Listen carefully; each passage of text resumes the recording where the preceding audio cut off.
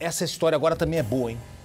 A atriz Julia Lamberts, grande atriz, é, eu acho que é a primeira vez que ela fala sobre o vídeo que vazou do ex-marido Alexandre Borges na companhia de travestis.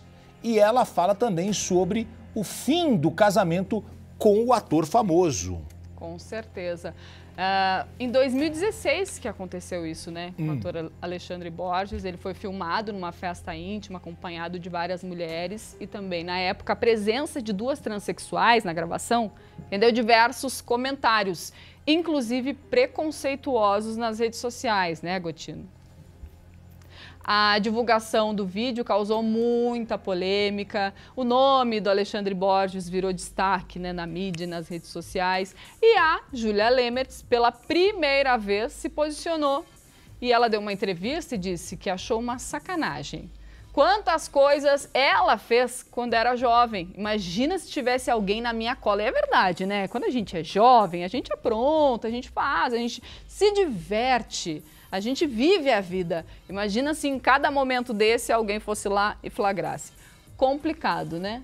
E ela declarou que achou infame né, o que aconteceu com Alexandre Borges, que é pai do filho dela, o Miguel, de 21 anos. E ainda falou do casamento também, ela que foi casada por 22 anos, de 93 a 2015. É, é bastante é uma tempo, vida, né? né, gente? E eles estão separados já há quase uma década, mas ela disse que ainda ela não superou o fim da, da, da, relação, mas não o fim, sabe? O relacionamento de 22 anos ter terminado, porque é uma vida, a pessoa ela vive e teve um impacto muito grande na vida dela, segundo a atriz. Ainda está processando a situação, o término. É, e ele, é, agora na pandemia, ele veio morar em Santos, ficou ao lado da mãe e ele ia fazer as coisas, ele, ele se apaixonou pelas redes sociais, uhum. ele contava um pouquinho da, da, da, vida dele, se deparava com as pessoas na rua, trocava ideia.